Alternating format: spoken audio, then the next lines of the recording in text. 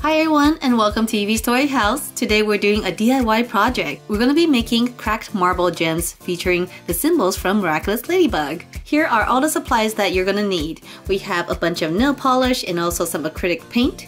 We have a tray that we can use for baking, a bowl for ice water, and of course we have our glass marbles. I'm going to be using this type of glass marbles. So it is domed on top and flat on the bottom. So what we wanted to do is crack the bottom and then paint it with the symbols underneath. And I think once we're done, it'll look really cool from the top. So let's get started. The first thing we need to do is crack the marble. So I'm going to be placing all of my marbles on this cookie sheet here. Here I have 10 marbles. I'm making a few extra in case some of them crack all the way through. I'm going to put this at 425 degrees for about 20 minutes in the oven. While the marbles were baking, I prepared a bowl of ice water. Alright, we're done baking these beads. Now remember, they're very very hot, so make sure to not touch them. And get adults to help you. Now I'm to dump them immediately into this ice bath.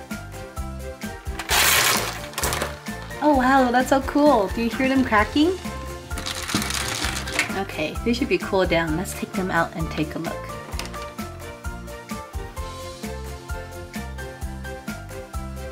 You can see from the side here, they're cracked from the bottom. Look at that. Super cool. Oh, this one's really nice. Look at that. You can see the cracks all along the bottom. Out of the 10 gems that I baked, about 7 of them came out really nice. So we got this really nice crackle all the way around.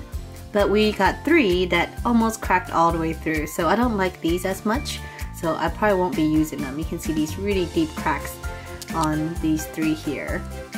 And the other ones are a little bit more subtle, but the cracks are smaller too, so I like these a lot better. So let's stick with these and we can start painting them. Alright, let's start with Ladybug. We're going to add five black dots and then draw a line down the middle. Then we're going to layer red over it. For Cat Noir, we're painting a neon green paw.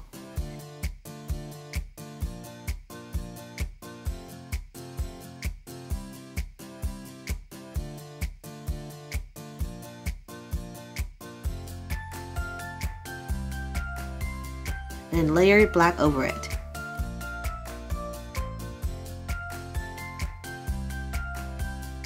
Now for Rena Rouge. We're going to paint the necklace with white and light orange.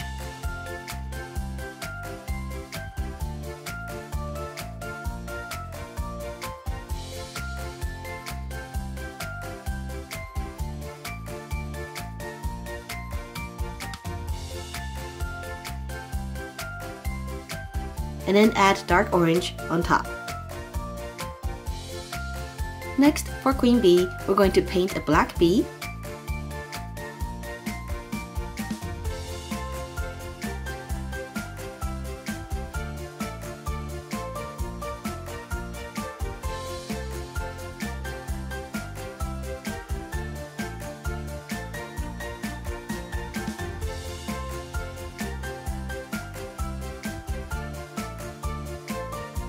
and paint yellow over it. For carapace or shell shock, we're going to start with dark green lines.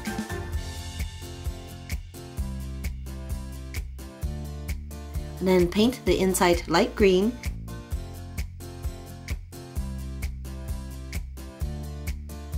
and layer dark green over it again.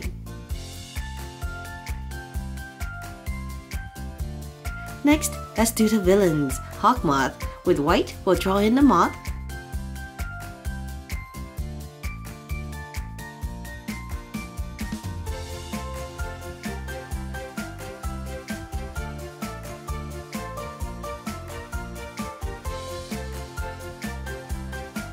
And then paint over it with purple.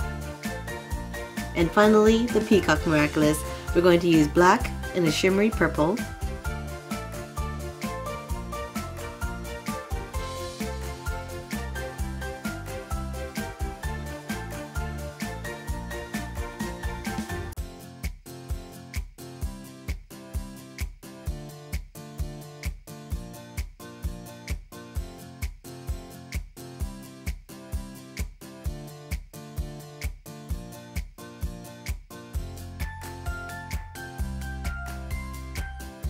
and layer over it with the light purple.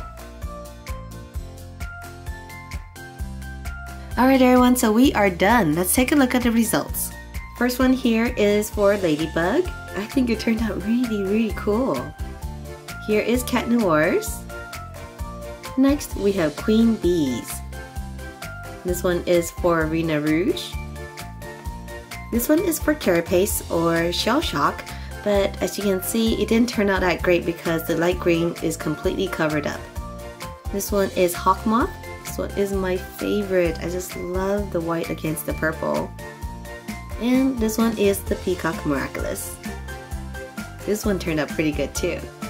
Alright everyone, so I thought that was a really fun project. Let me know down below in the comment section what you think of these colored gems. if you like this video, make sure to subscribe and I'll see you guys next time. Bye!